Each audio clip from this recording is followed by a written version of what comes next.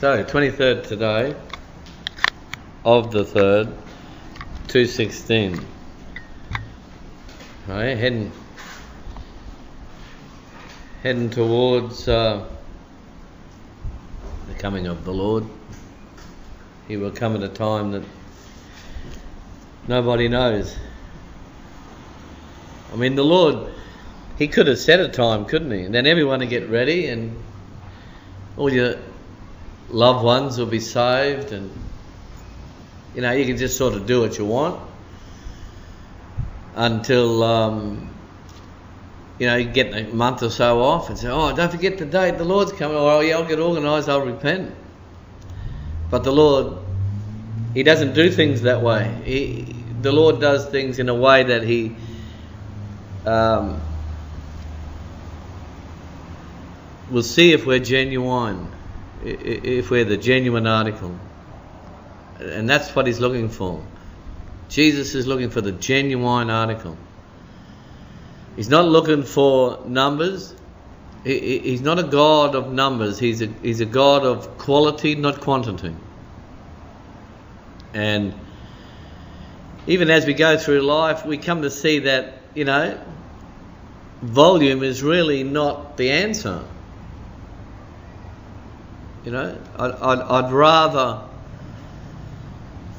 I mean, a, a, a, a feast and, and, a feasting and, and, and a, um, a wing do among family and friends and a reunion even. You know, that it all looks great and everyone's there and hee hee ha ha, but I don't believe that that can compare with a um, dry morsel in quietness with the Lord. I really don't see the comparison. I mean, it would be cruel to try and compare, you know, for the Latians' sake. And uh, so the Lord's going to come at a time that nobody knows. The Lord's designed it that way. Not, even Jesus knows that time. That's the way Father has done it. This is in order that we be ready every minute of the day. See, He wants us hot every minute of the day. Not seasonal. Has to be every minute of the day, no matter where we are, no matter who we're with, no matter what we're doing. We have to be ready that moment. He will come in the twinkling of an eye. And that's very, very brief, isn't it? Before we go into the message today in the in the Old Testament, I'd like to make mention of um, the churches of the world today and and, and uh, all their, their fishing tactics in order to get people into their religion or organisation or ministry or whatever they call it and there's a lot of multicultural um, uh, draw cards. And I know after being uh, in the Word for 29 years, this June, I know that um, it, it, holds a lot of weight, you know, uh, when it comes to the public, if we go along with the multicultural thing. We go along with the multicultural beliefs and and play the card that it doesn't really matter, you know.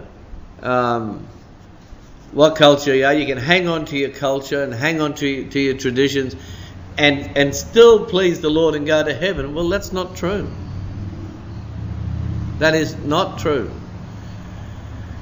The Lord has shown us clearly in the scriptures that it is not true. We can't hang on to our uh,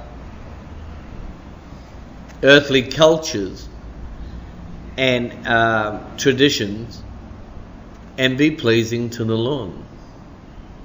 This is what the scriptures are all about coming out from among them and being separated unto the Lord. This is what all this is talking about and uh, Jesus doesn't put up with other gods.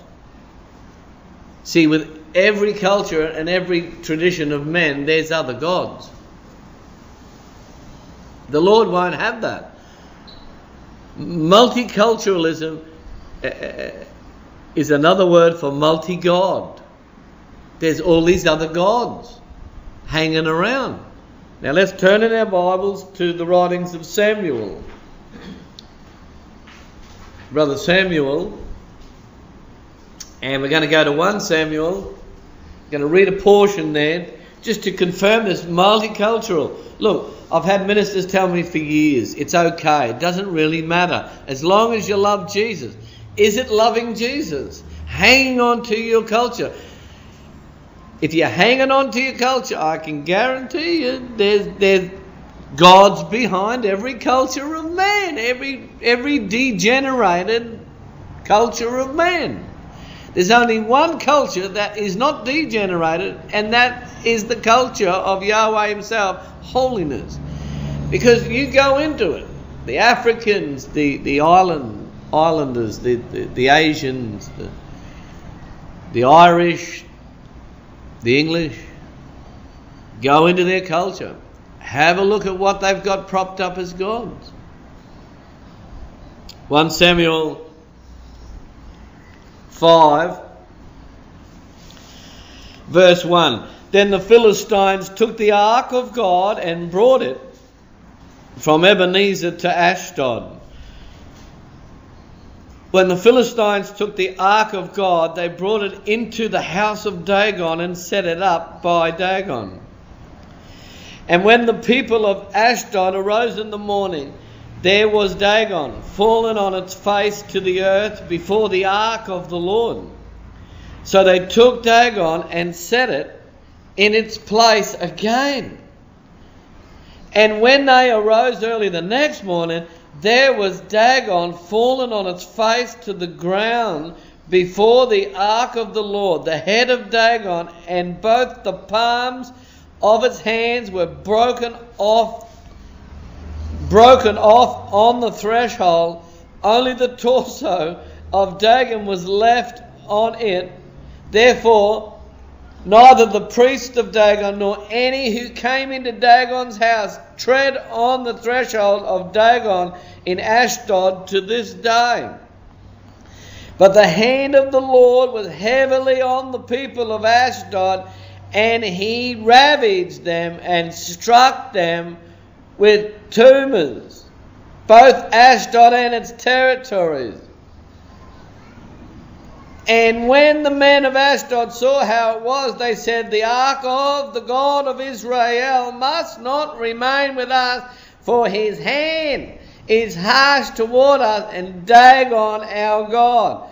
I'm talking bubonic plague, tumors. You can't put another God in the same arena with Jesus. It can't be. You can't. Where there's other cut, where there's cultures, there's gods. Simple as that. But there is only one wise God. Right? 1 Samuel 5 3. And when the people of Ashdod arose early in the morning, there was Dagon fallen on its face to the earth before the ark of the Lord. And then they took it and set it up again. And how arrogant. God had already face planted that thing. Hey? That that that God, Dagon, had bowed down before the ark. And then they went and set it up again. All right, let's read verse 4. And when they arose early the next morning, there was Dagon fallen on its face to the ground before the ark of the Lord. The head of Dagon and the palms of its hands were broken off. Only the torso was left. You see very clearly. Useless. God was saying to the people of Ashdod, that thing is useless. It's got no brain. There's no head. There's no hands. It can't do anything for you. Get rid of it. Whether it's a tiki, I don't care what it is. You go and preach that in the churches in New Zealand and see what they say. They might behead you. You go down to Tonga and preach that. Look,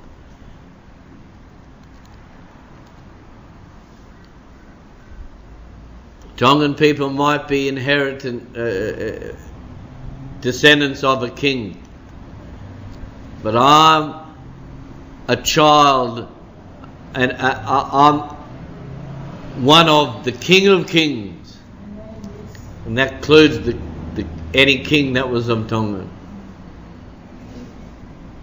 So I will very quickly and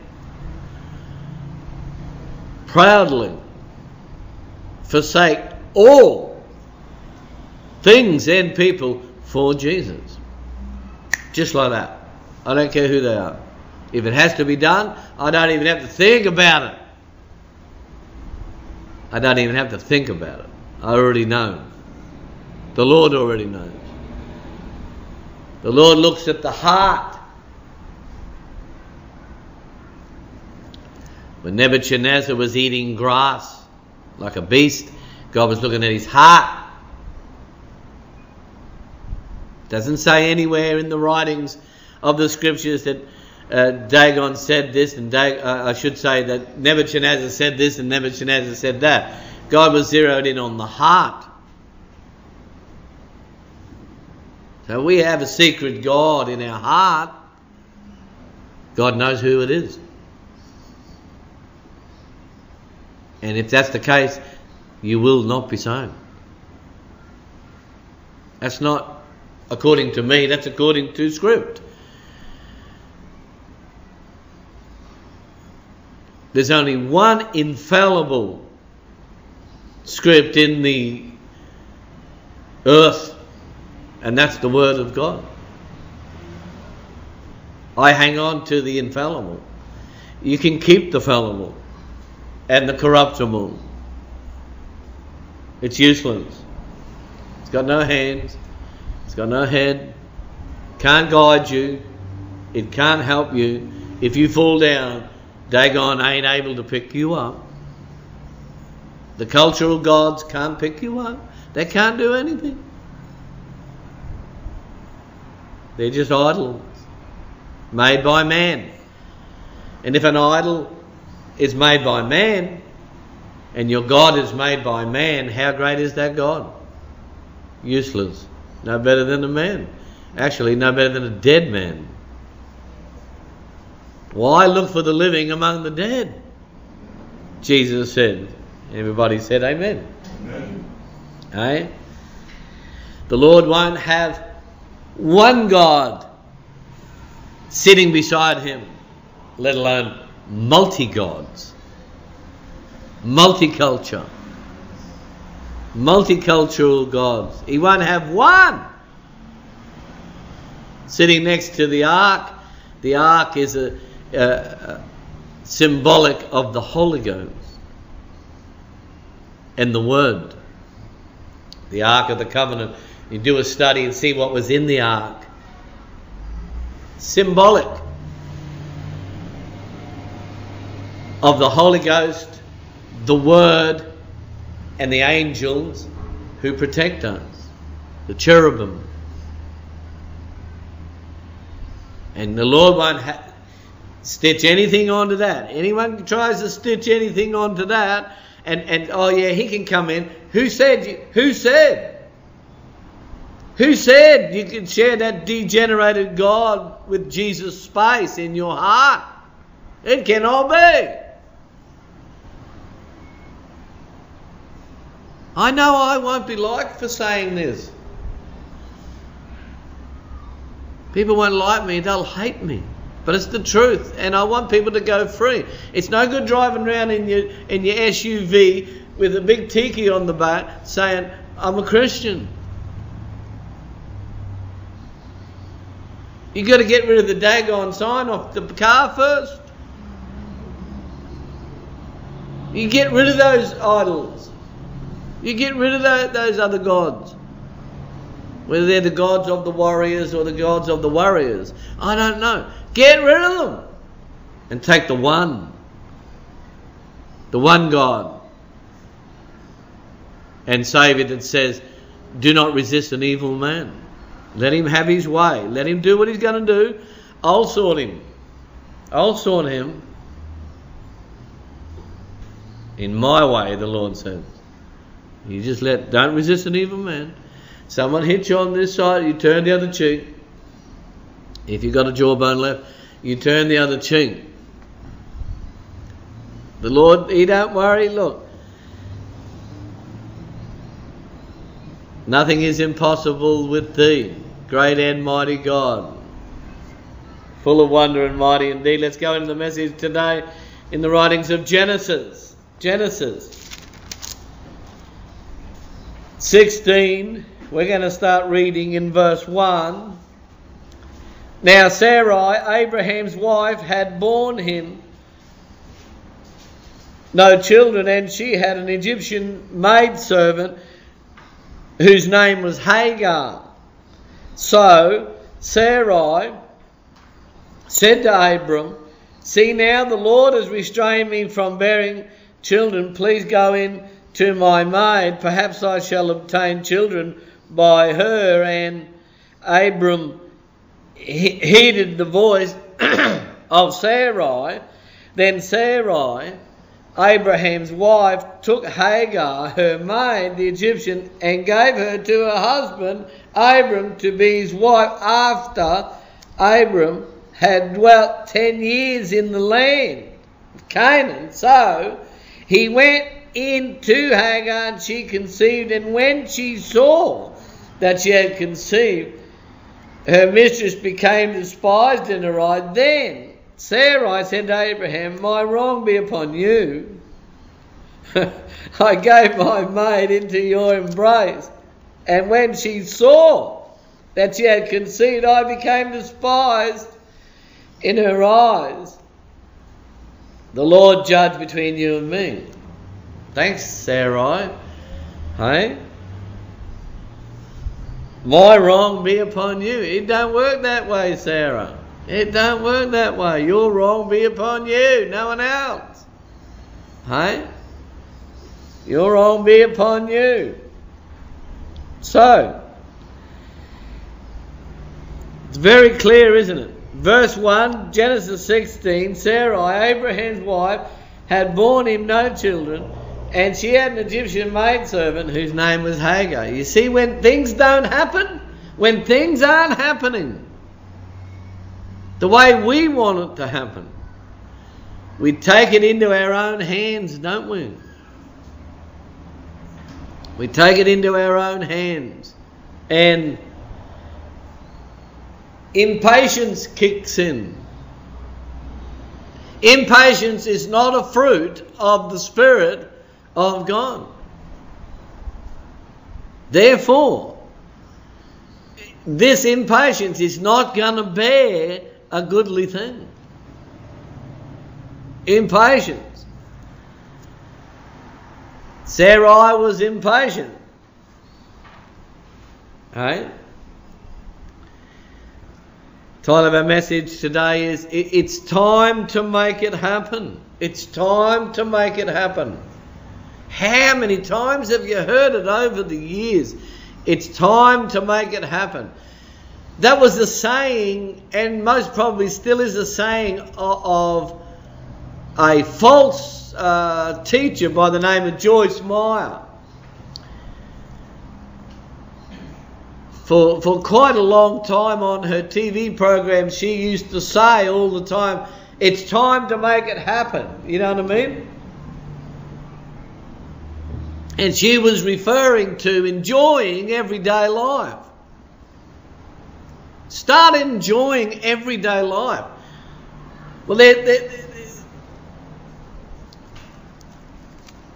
there's a there's a higher place than that. There, there's a higher realm and place than enjoying everyday life. And, and the world doesn't know about it. And sad to say, most churches and their ministers and ministries don't know about it either. Because otherwise they wouldn't say. It's time to make it happen. It's time to start enjoying everyday life. The Lord has done a work at Calvary so we can have more than that. Because Jesus came to give life and give it abundantly. Now, Jesus did not bring any material things into this world with him. He, he, Jesus never brought or left as a legacy any material things. So he's not talking about the abundance of material things, is he? The devil comes not but to steal, kill, and destroy. And he's doing it today. He's using the churches of the world, the one world church, the ecumenical church. He's using the harlot church and all her prostituting followers to usher in, and has been doing it for centuries, usher in materialism into uh, the Lord's house. And as I said initially today and this morning, multiculturalism, multicultural faith, which is no faith. Because true faith is only trust in one. When you truly have faith in someone and you're truly faithful to someone, it's only one. And Jesus, He is that one that we're to have faith in and to be faithful to. Come what may, no matter what the cost. No one has left. No, King James Version says no one has forsaken. Forsaken means abandoned. No one has forsaken or abandoned house or wife or land, possessions or children for his name's sake and the kingdom. No one. And has not been rewarded a hundredfold. Not 20 or 30. One hundredfold. And eternal life. In the next, can someone say amen? All of our message today. It's time to make it happen. Boy, boy, I'd rather leave it alone. I'd rather take an Abrahamic step back and say, listen, Lot, you take what you want of that. I don't want any of it. Oh, nothing to do with it. Because we're not our own anymore. It's not time to make it happen. It's not time for us to enjoy everyday life. Uh, look, I'm just not satisfied with everyday life anymore. Hey? It's just not enough. But I tell you what, Jesus is more than enough. He's more than enough. Oh, yes, He's more than enough. He's El Shaddai, the God of plenty the all sufficient one, God Almighty. Jesus is more than enough. Jesus came to take us onto another level, take us onto another plateau, because he looked down upon the earth and he's seen. God's seen that the people in the earth were in dire straits. The people of the earth were needing salvation. And the Lord wants to save us from us. He wants to save us from a lot of trouble. He wants to save us from taking things into our own hands. And we know what happens, don't we? People start killing. People start raping. When you take things into your own hand, people start stealing. They want it so bad, they'll steal it. They start lying. They want it so bad. They want to make it happen. They're thinking in their heart, it's time to start making it happen, you know. But it's not. That's what Eve said. She said, Adam, it's time to make it happen. It's just things aren't moving fast enough. We're going to do it this way. We're not going to do it Yahweh's way. We're going to do it our way. I did it my boy oh boy. How many have done it their way? You know what? We know by the, the, the most simple of scriptures any other way but Yahweh equals destruction. The way of men and women seems right, but the way thereof leadeth to destruction and death. Genesis 16. Look what happened. Look, I just can't believe how quick the Lord confirmed the the the sin of the God of self will. Genesis 16 and verse 4. So when so Abraham went into Hagar and she conceived. And when she saw that she had conceived, her mistress became despised in her eyes. Straight away, look at the drama that came straight away. One minute, she's thinking that this Egyptian woman was going to save the day. Now, she's on the verge of being booted out. You see the confusion that comes. You, you, you see the mindset here. How I mean, what is going on? The, the woman done you a favour, so to speak, you know, an Adamic favour. We don't need Adamic favours, we need messianic confirmation. We don't need Adamic favours. Hagar, being Egyptian, I mean, was open for anything, wasn't she, really?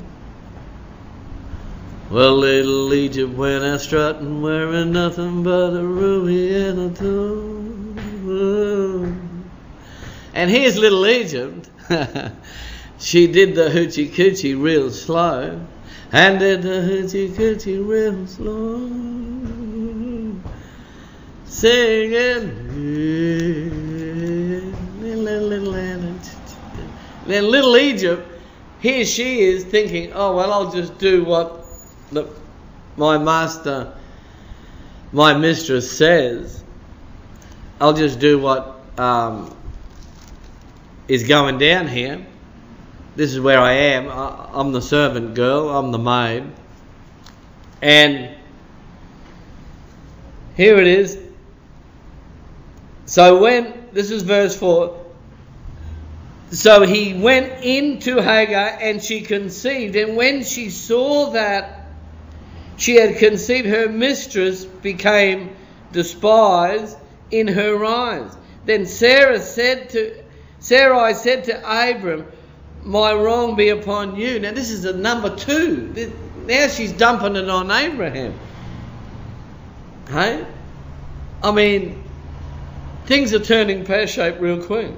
I gave it, You see how confused Sarai is?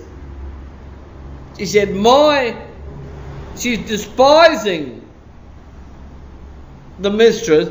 And now Sarai said to Abraham, My wrong is not, I'm going to dump it on you. And then straight away she says, I gave, I gave my maid to you. And when she saw that she had conceived, I mean, did she? I just can't understand this woman. She's very hard to understand, isn't she? Is she a woman? Yes. Hang on. Like, hello? And she saw that she had. I became despised in her eyes. The Lord judge between you and me. Well, I mean, Sarai's out of order. She's totally out of order. Impatient and out of order. I mean, not just Sarah, but humanity has inherited that from Adam and Eve. Impatience and, and, and disorder has been inherit, inherited from the fall. Now, Jesus, who is the full guy, he he compensated for humanity on the tree. And the and the outcome the the outcome and the outworking of what Jesus done on the tree leads us totally away from such a mindset of taking things into our own hands. As Joyce Meyer says, it's time to make it happen. Time to start enjoying everyday life. Well, the Spirit of God does not put such things into your heart. That is just a degenerated mind. Time to start enjoying everyday life. I mean, the world does that. And it's so inferior and, and so mean. Alive. Everyday life. What a, what a, a drudgery. The Lord wants to lift us up onto eagle's wings where we can see the smallest of error and, and, and the smallest of disorder and impatience. Those who wait for the Lord, they mount up with wings like eagles, meaning God will show you the smallness of the world's ways. Because an eagle is way, way, way, way, way up near the mountain tops. And that eagle can look down onto terra firma and see a lizard for entree. And zero in on that lizard and take that lizard for his morning tea. And that's like us. In the writings of uh, Isaiah, those who wait for the Lord, they're not the impatient, not the disorderly, but those who wait for the Lord, those who wait on the Lord. There'll be no regrets. We, we won't be kicking ourselves. We won't be doing a Judas. Oh, please, here's the money. Please, take the money back. Take the money back, please. Here it is. It's all here. I don't want the money. And the Pharisees sitting there so calmly in their temple. It was sort of like, you know, like, sort of like, I sort of always picture a Roman Catholic priest sitting there, you know. in his presbytery, sort of thing. And sort of Judas going in there, you know, terrified and shaking, and fear of God was coming on him, you know. And he sort of had the money in the hand. He, he'd break it out into a cold sweat, you know. Here's money, please take it back. I don't want. And, and, and the Roman Catholic priest sort of sitting there, you know, waiting for his morning tea.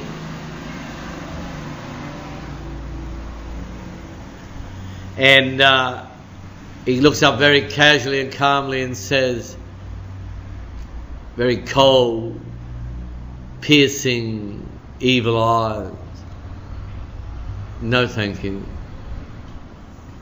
And calls for one of the nuns to ask to remove the man. And then Judas goes out and hangs himself from the nearest gum tree, so you know, so to speak. Speaking of Roman Catholic priests, let me interrupt by saying this: that um, my sisters, when they used to go to the convent, my sisters are around seventy year old now and older, and when they used to go to the convent. Um, Roman Catholic convent, they were taught each week different girls used to go to be selected to go to the priest's presbytery and to clean up. And the nuns would come and select which girls and and um, my sister Lynn said we used to go into the presbytery, and she said the smell was was just vile. It it was so dirty. She said there was ash all over the floor where the priest who used to smoke cigarettes and cigars would flick his cigarette and it wouldn't go into the ashtray, go on the floor. She said there was just wine bottles everywhere some with dregs in the bottom, you know. And they used to go there every week, different girls, and clean up and, mop up after these Roman Catholic priests. And I said to my sister when she mentioned that only the, a week or so ago, and I said, "What kind of example is that to eight-year-old girls?" What kind of example is that?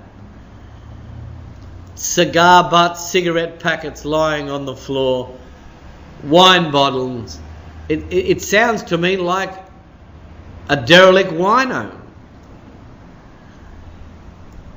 But yet, they have this tag priest. Do, do the world know do the Roman Catholic Church know what a priest really is? A priest. God used to kill them if they went in his temple with, with sin in their life. He used to kill them,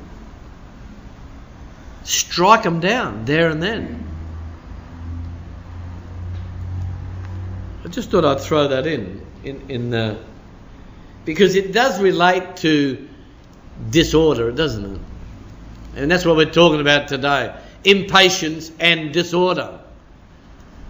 The hallmarks of an unsaved person. Hey? Jesus said, All things must be done decently. Cigars and booze bottles aren't decent. Hey? Doing our own thing isn't decent.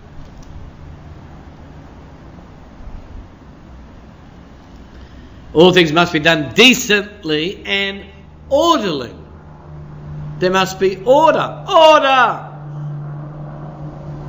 Mr. Speaker, order! In the House of Parliament, there's order. And they go crazy today. They punch out each other, they bash each other. There's no order. And there's no order when you look into the parliament and you have a look and you see no order and you see no decency, you know there's no order and decency in the land. So, in order to find decency and order, we must go beyond the land. We must go beyond the sunset. Beyond the sun sunset, some misty morning, when with my Saviour heaven has begun. We have to go to the rock, don't we? We're looking forward to a, a, a, new heaven and a new earth where righteousness dwells. Righteousness does not dwell on planet earth, it only dwells in the true believer. That's why we need fellowship one with another. That's why we need to gather together and assemble together as the Lord said in the writings of Hebrews, that we're not to forsake the assembling together of the righteous ones. Because things are done decently and orderly there. Can someone say amen? You will not go to a church meeting on Sunday that is of the Lord and find cigarette butts and, cigar butts and booze bottles in the pews. Can someone say amen? Hey? Title of a message today. It's time to make it happen. No, it's not. It's time to do nothing. I like to spite the devil and do nothing at times, you know, and just sort of because he, he, he likes to keep. I mentioned this this morning to a, Brother Samuel, I said, the devil likes to keep you on the run. He likes to keep you moving all the time and you're confused. And there's no time for the Lord. There's no time to meditate in His Word. There's no time to contemplate on, on your love relationship with the Lamb. Lamb love relationship. Because He is our Lamb Lord. And we love our lamb. Hey? We don't love ham, we love lamb. Hey?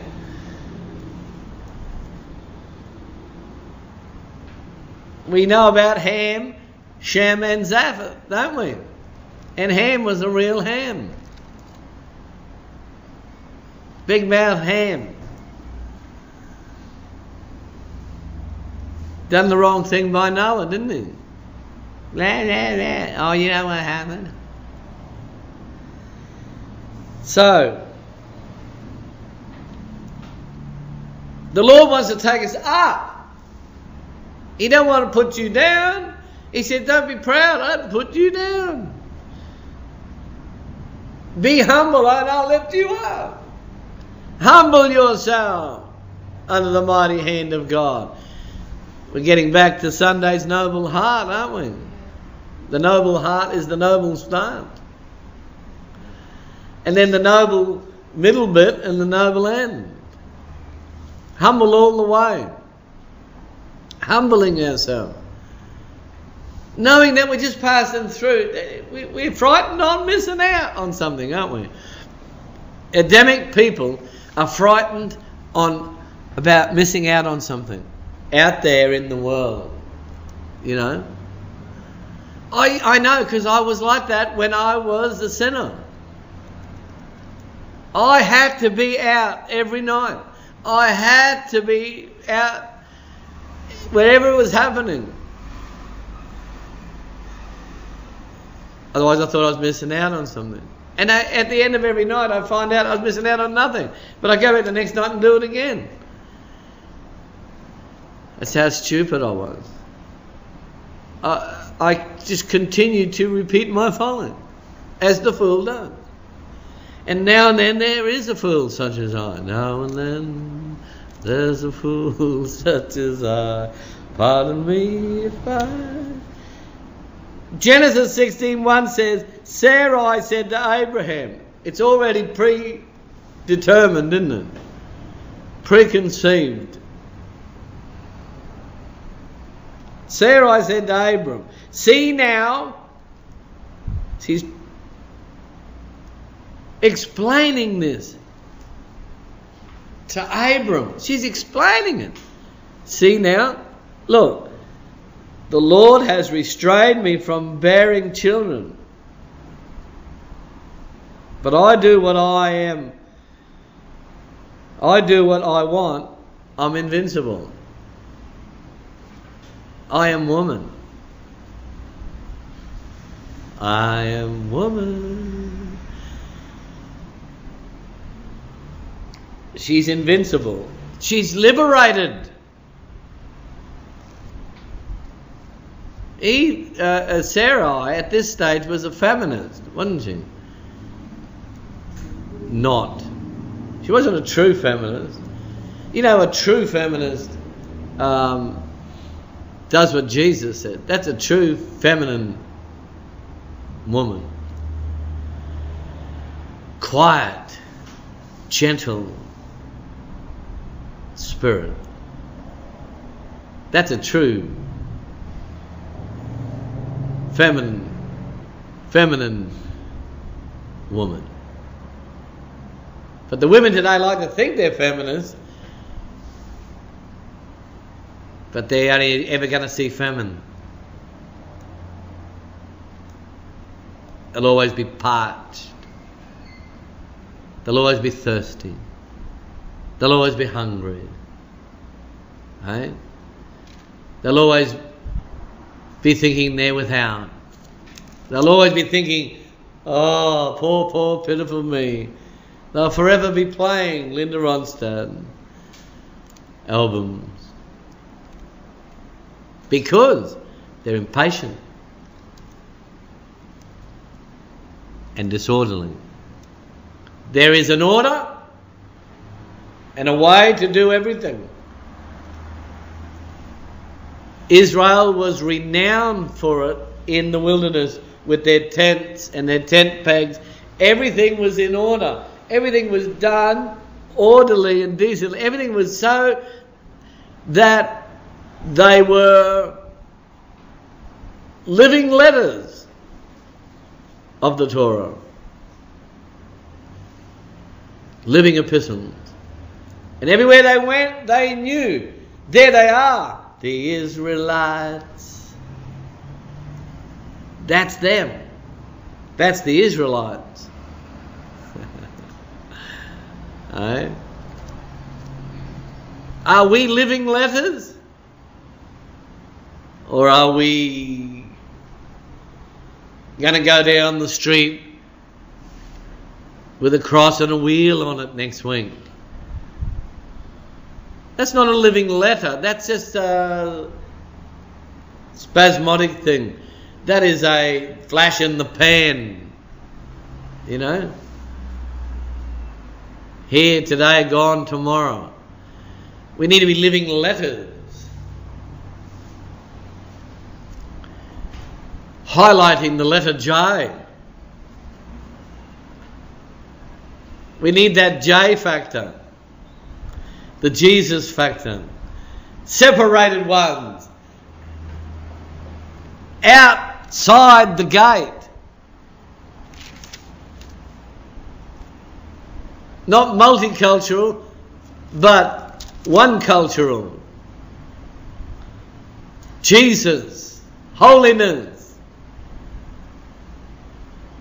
patience, order, order, order, order.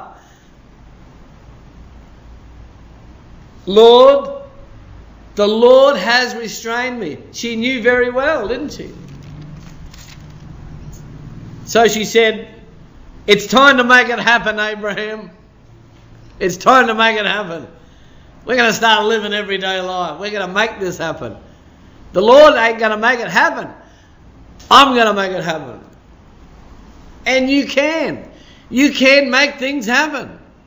We see it. Look what happened. Got that, gave little Egypt a ring on the phone. Hey, little Egypt. She came out strutting. Hey? Wearing nothing but a ruby. Huh? We can make it happen. We, we, we can build the buildings. We can stuff the people in. We have all kinds of draw cards, but is it the Lord? Is it of the Lord?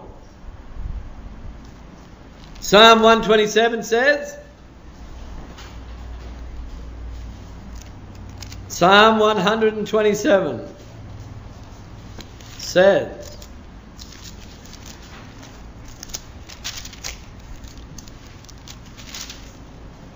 Verse 1 Unless the Lord builds the house, they labour in vain who build it. It didn't say it wasn't going to be built.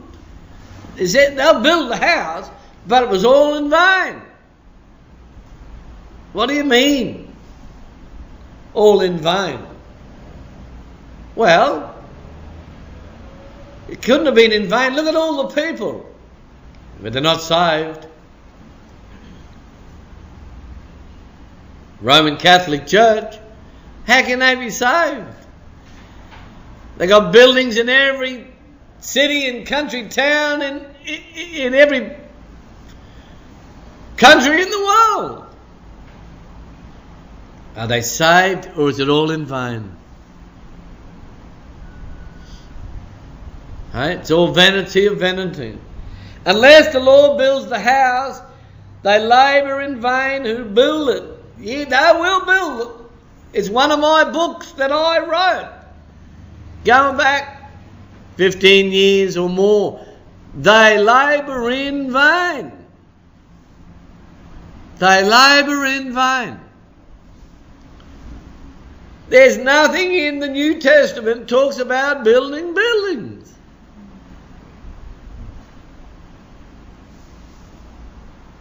The only thing I find in the New Testament is the Great Commission. Go into all the world and preach and teach and water baptize. That's the Great Commission. But they make it sound so great that they're building more buildings and putting a cross on the front and a rabbit next to it, or Dagon rabbit, Dagonic rabbit, or a, a, a, a Santa Claus Dagon next to it. And then they say, oh, this is the Lord. Come and see what the Lord has done and, and the congregation have a $2.3 million mortgage, and some of the congregation have put a double mortgage on their home to pay for it. And if you do, well, you're going to get the front seat in the new building. And other fringe and sideburn benefits. mustache benefits.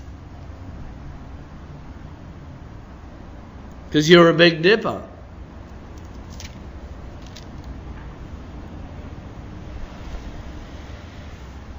It's time to make it happen. No, it's not time. It's time to do nothing. It's time to wait on the Lord. And He'll lift you up so you can see. I was blind, but now I see. Amazing Christ. How sweet the word that saved a wretch like me. Saved by the word. Saved by the water of the word and the power of the Holy Ghost. Hey? Glory to the Lamb. Psalm 127 1. Unless the Lord builds the house, they labour in vain who build it. Unless the Lord guards the city, the watchman stays awake in vain. Is it of the Lord? We all like to, to watch over all kinds of things to protect them, but is the Lord operating? Is it the Lord wanting them?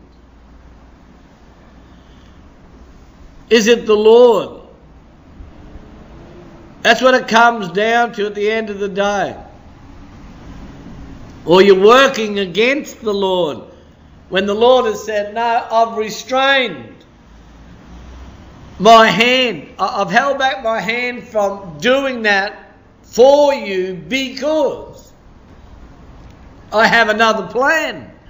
I've held that back from you. I've held that.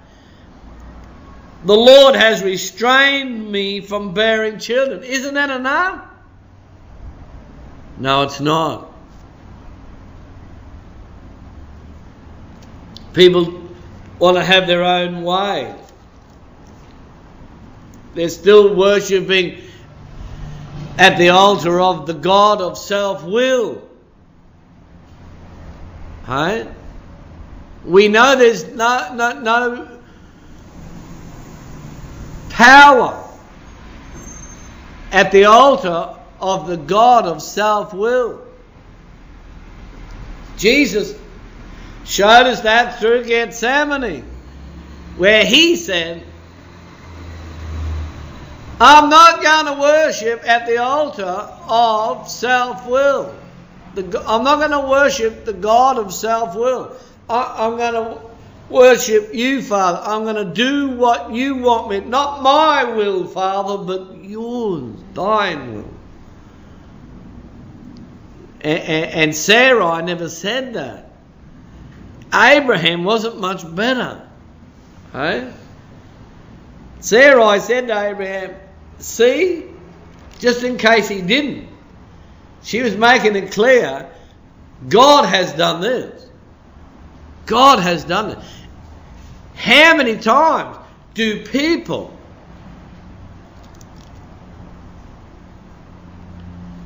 they know very well it's as clear as the nose on their face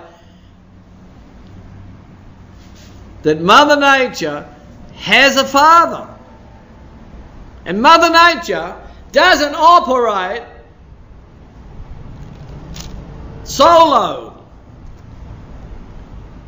Mother Nature has a father. And when they see the tsunami, they see the mudslide, they see the bushfires, they see the destruction, they see the earthquake, and they see all these things. And, but they still go on pig headedly down the same road as they do and did in Bali, where we can't wait to get back to normal. Normal is another word for sinful. and that is normal. It's a normal thing. It's the norm for the Adamic race. But it's abnormal for the Messianic race. It's not the norm.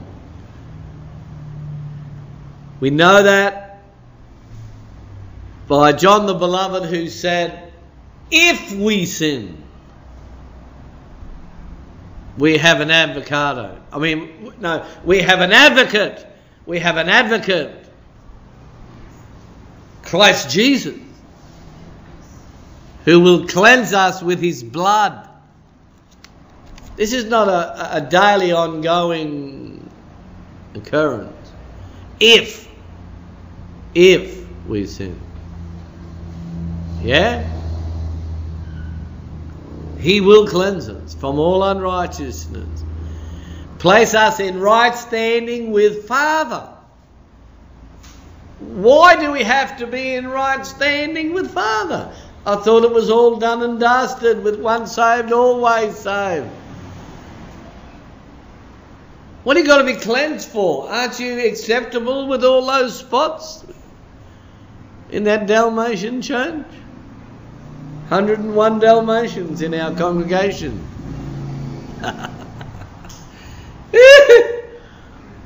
Jesus ain't coming back for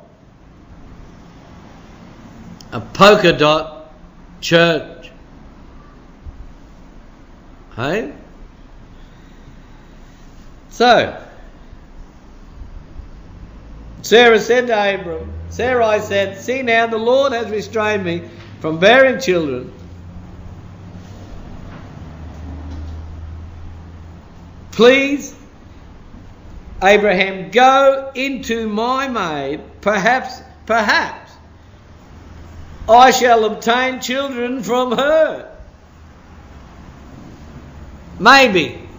It's a stab in the dark on our own, isn't it? It's a stab in the dark. Maybe, could be, I don't know. It's time to make it happen. It's a stab in the dark with Joyce Meyer, the Pentecostalism, the evangelicalism, the Roman Catholicism. It's all a stab in the dark.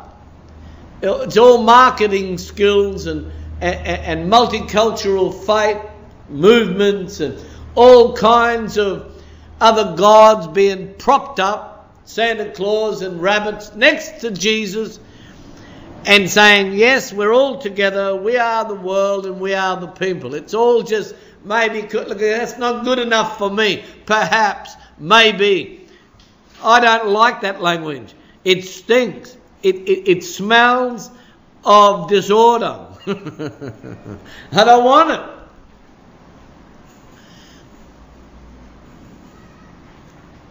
The Lord Jesus teaches us that our yes is yes and our no is no, and anything else is of the devil. Anything else is of the evil one himself. Maybe could be, I don't know. There's all kinds of uh, uh, uh, surmisings there, isn't there? There's all kinds of confusion. That's what I love about Jesus. He nails it there and then. He always deals with it up front, in your face, shirt fronting, confrontational uh, uh, faith. Christos confrontation. I love it. And, and, then I know where I am. Like, what are you doing? Are you in or you out? What's it going to be? Don't waste your time. If you if you don't want to be here, for crying out loud, go where you want to be and stop bothering me and everyone else. I think that's loving and I think that's fair. I think that's order and I, I believe, not think that that is Christ. Hey? Because that's the way the Lord dealt with the situation with the angels in heaven. He said, Look, you want to go with Lucifer? Go. Don't stay here with a down look on your face. Go with, with Lucifer. If that's the way you want it, and you want to be with them and rebel, go. Sarai said to Abraham, See now, the Lord has restrained me from bearing children. Go into my maid, and maybe I obtain a child or children by her, and Abraham heeded the voice of Sarah. You think he'd know better, wouldn't you? Especially when Sarah knew. God doesn't want me to have a child at this time. But I'm going to do it my way. Hey? Look, we know that Mankind just doesn't have the answers. We know that time and time and time again. Humanity just does not have the answers to, to the world's dilemma. We, we, we like to think that, you know, uh, an Easter parade's going to do the job. You know? That, that is not the order of the Lord. They're, they're labouring in vain. then doing no better than, than the rich man and Lazarus scenario when the rich man's burning in the fires of hell and said, Look, it's time to make it happen, Abraham. it's time to make it happen with my family. Now, this is what you're going to do. And Abraham said, No, I ain't going to do nothing of the sort. He said to the rich man, well, he should have said that to Sarah, shouldn't he? He should have said, oh, It's just not going to happen. It won't be happening, Sarah. Right? Little Egypt, Hagar, she bore the child, and boy, look what come with it. Woo! Look what come with it. I mean, it's still lingering today, isn't it? We're entrenched in the in the miserable, destructive, heartbreaking, and painful, frightening terror of the child of little Egypt, of Hagar. Where the whole world's saturated in it now.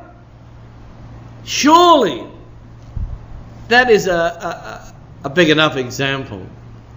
Surely that's driven the nail home. Jesus uh, on the tree has made a way to avoid all that and to come out from under that curve. Come out from under that Egyptian curse. And walk in the victory on higher ground. See, the outworking of the cross enables us to enjoy not everyday life, but a better life. A new and living way. The other way is dead. It's a dead end and it's dead. The world always has to try and make something happen. They're always, you know, it's time to make it happen. It's time to go here. It's time to go there. It's time to do this. It, oh, look, we'll have a barbecue. We'll have a picnic. We'll have this. And they're always trying to, you know, it's all like staying alive, staying alive,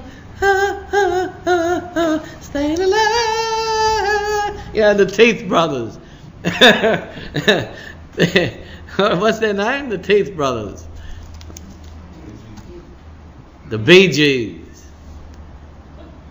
Staying alive. Trying everything in the book. Travelling hither and thither. With or without Heather. But the Lord says no to it all. The Lord says no, it's all in me. The one stop shop. Jesus. Wait. Be still and know that I am Lord. For he is Lord. Jesus is Lord. He has risen from the dead and he is Lord. Every knee shall bow, and every tongue shall confess that Jesus,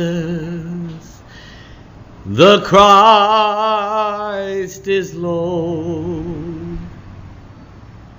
He is Lord. And if you make Jesus your Lord, you're going to mount up with the wings like eagles. Everyday life will never be enough ever again. And to have something more than everyday life, you've got to go into planetary. you have to go on to that other planet, that other zenith. Right? You have to go in the Spirit. You have to go by faith in the Son of God. That's where it all is, isn't it? Faith in the Son of God.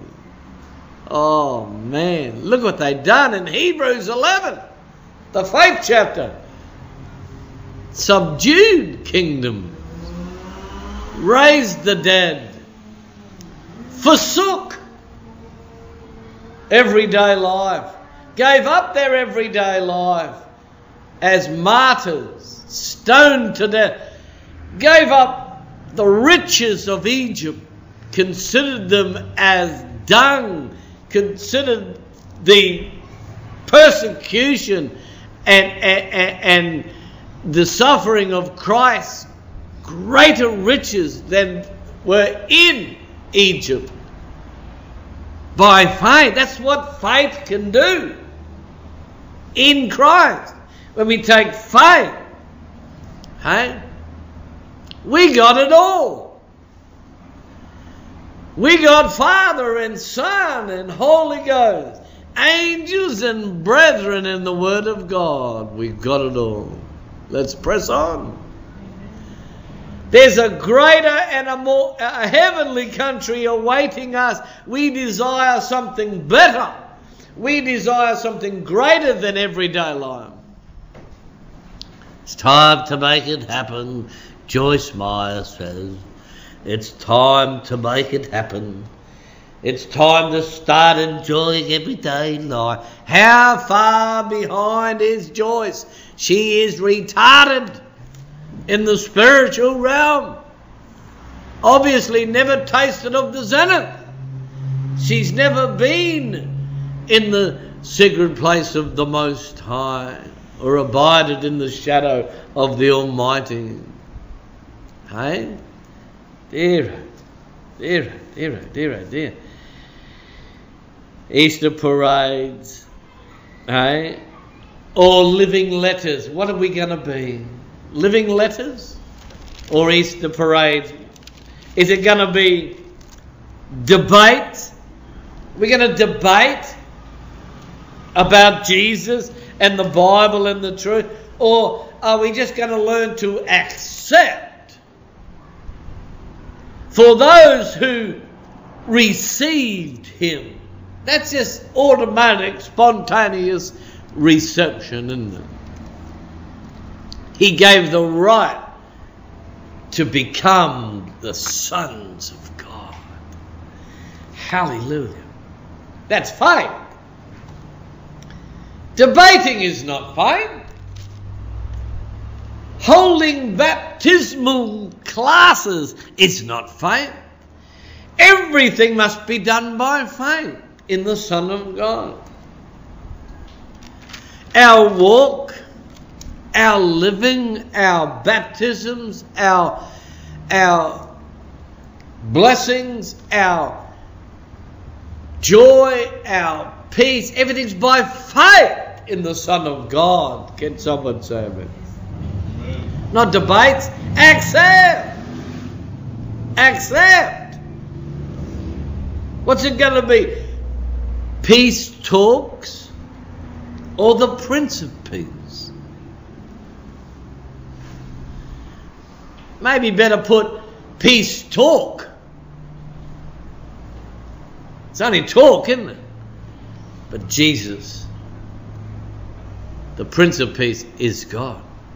I'm not talking talk. I'm talking Him, Elohim. But they're still like their peace talk. They're always talking about peace. Forget the talking. Lay hold of him who laid hold of for you at the tree. Lay hold of that which he laid hold of for you. The high call of Father through the Christ. Lay hold of it today. By faith. Yes, Jesus. I accept the call. I accept. I accept the anointing. I accept the everything. I accept what you have said. I accept that if you say no, it's no. I accept that I'm not just called to believe, but to suffer for your name's sake. Philippians, hey, 129. Or is it 229? I think it's 129. Hey, I'll just run a check on that. Philippians 129.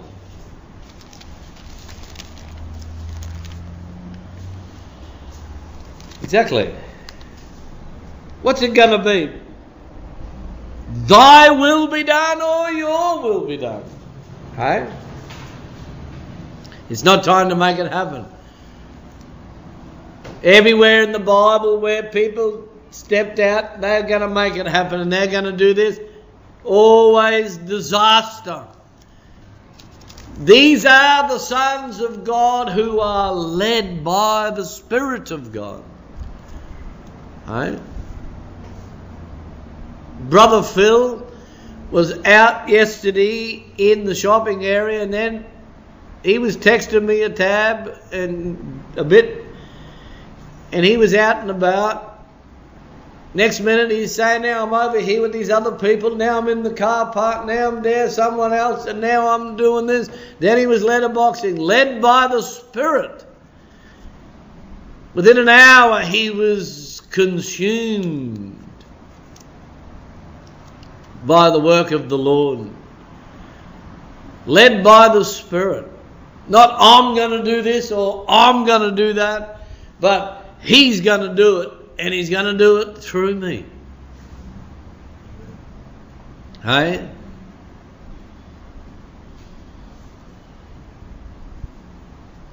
Not multi, multicultural gods, but one God. There is one God, there's one Lord, one Saviour, one mediator between Father and mankind. His name is Jesus. One and one alone. Way to heaven. I am the way, Jesus said. I am the truth and I am the life. And you will never enjoy everyday life and you will never enjoy the life of Christ until we repent, turn to Jesus from our sin, and pick up our cross and deny ourselves of sin and follow Him daily. He'll take you on to another plateau altogether. The truth and walking in the truth is another zone, totally different way. That's why it's called the new and living way, walking in it. And in the book of Acts, the disciples of Jesus were known as people of the way or the Christ. People of the Christ. They weren't known as Christians, they were known as people of the way or the Christ. People of the anointing. That's what Christ means. means anointed. People of the anointed one. One. Not multicultural. The anointed one. The Christ. We are Jesus, the anointed one, ministry. We're of the anointed one. And his anointing is on us, running all over us, even as the oil down the beard of Aaron. Hallelujah. Onto the garments how beautiful it is to see the brethren in unity. Right? How wonderful to see the people of the way, anointed ones, hearkening and heeding the voice of the Lord. This is the way. Walk ye in it, Jesus says. This is the way. I am the way. Walk ye in it. And you will find rest for your soul. Right?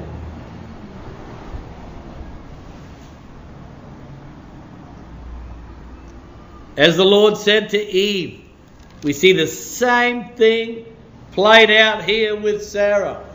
Don't touch the tree. The Lord said to Adam and Eve, Don't touch that tree. The Lord showed and said to Sarai, Sarai said to Abraham, See now, the Lord has restrained me. The Lord would have spoken to Sarai and said, No. But how many disasters I've seen over the decades, people know it's a no from Jesus, but they go ahead anyway. They don't wait on the Lord. And what happens? even down to holidays. They go on holidays, ends up a disaster. They buy houses, ends up a disaster. The Lord doesn't want them to buy the house. You say, but everyone does. It's the great Australian dream. You've been lied to. It's not. You're dreaming. It might be the great Australian dream or the great American dream to own your own home, but it's not the disciple of Christ's dream.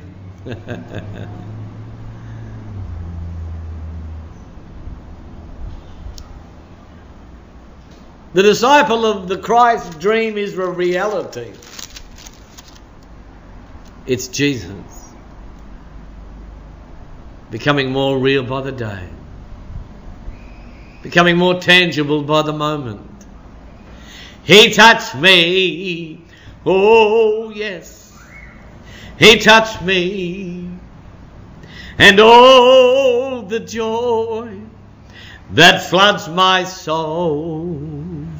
Something, something happened. And now I know he touched me and he made me whole. He touched me. The Lord Jesus, once he touches you, your eyes automatically just ricochet off the world onto him. and all of a sudden, you're saying, I see Jesus standing at Father's right hand. I see Jesus wandering across the land. oh, dear, oh, dear, oh, dear. Right? The God of self will. Right? How many worship at the altar of the God of self will? Every Adamic person on planet Earth. And that's only one of their gods. so we really, really are a multicultural country, aren't we? We really, truly are. It's a multicultural world.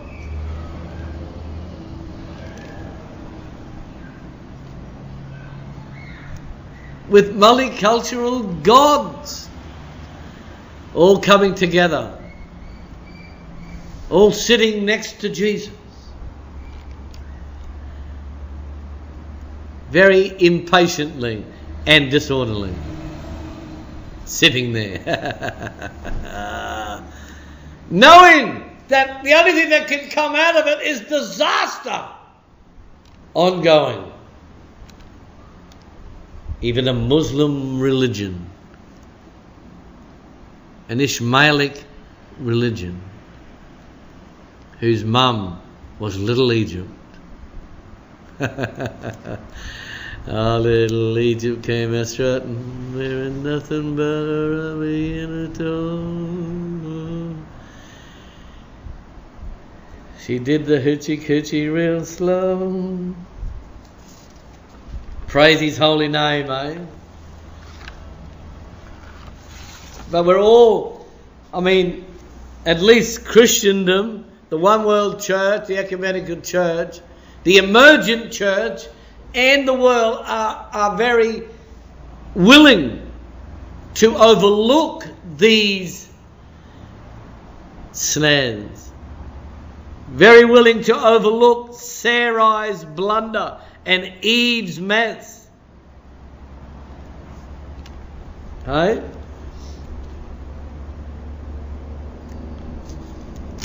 My son, Brother Shadrach, he's reading this morning came out of Luke 13. And I, I thought very, very synonymous with today's message. And he didn't know what I was going to be teaching on today. If we go to Luke 13, please. All right? Go to Luke 13 if you have a Bible. Luke 13. if you have a Bible there. Luke 13, brother. Yeah. We go to Luke 13, verse 24, and what does it say? Strive to enter through the narrow gate, for many, I say to you, will seek to enter and will not be able. You see, that this message today is a message on striving, not seeking. This is not Peter, Paul, and Mary stuff, you know.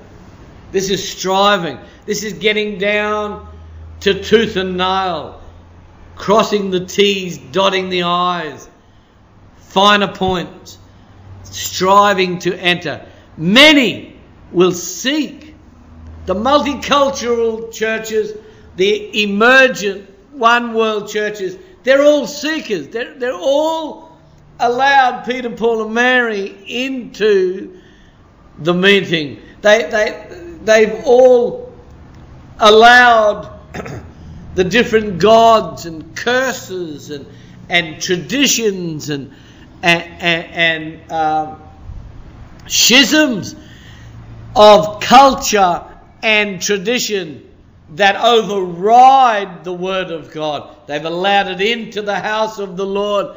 And in a word, it's letting Dagon back into the temple. It's putting Dagon next to Jesus. What the Spirit is saying here today is that multicultural gods and guidance is nothing useful at all to the saving of the soul. Handless, headless guidance. Statues, idols made of stone, wood, or whatever you want that are not able to help you be uh, meek, loving, kind, patient, orderly, person. Can someone say amen? Because most of the multicultural gods and idols are all about violence and war and warrior, and most of them are just warriors, full of fear and self preservation. Protecting oneself. I have to learn self defense to protect myself. No, that's not that is not the way of the God of Abraham, Isaac, and Jacob. That is not the way. There's no more self protection when you come to Jesus. There's no more doing uh, uh, uh, um, UFC. There's no more doing uh, martial arts and, and boxing and self defense. Forget that. Throw it in the bin. Throw it out with Dagon. It's now turn the other cheek. It's now uh, do not resist an evil man. It's now vengeance belongs to the Lord. It, it's now um, martyrdom for the Master. It's now it's no longer I that liveth, but Christ that liveth in me. I no longer live my life for me or anyone else, but for him who died for me, the cruel death upon the tree. And everybody said, amen. and amen and amen. Right? So, the end of the day, it's a Babelic mindset, isn't it? Multicultural. Uh, uh, it's time to make it happen. That's Babel revisited. They're the words of Joyce Meyer. It's time to make it happen. It's time to start enjoying everyday life. There's no end to the Adamic enjoying everyday life. There's no end to it. I mean, the nips just keep getting bigger. oh, yeah, the nips are getting bigger. Started out just drinking beer. Didn't know why, or what I was even doing here. Started with some cooch, ended up on acid. Oh yeah, the nips are getting bigger. Before you know it, you're on methylated spirits. Right? It's Adamic. It's Babelic. it's it, it's worshipping at the altar of the God of self will. Hey?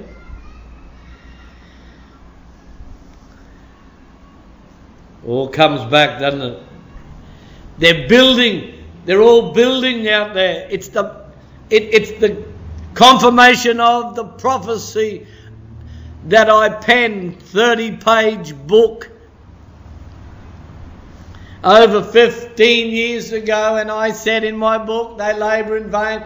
It will be man's last bastion to build, build, build, build, build. The Adamic, the Adamic churches, build, build, build, build, build. And what are they doing?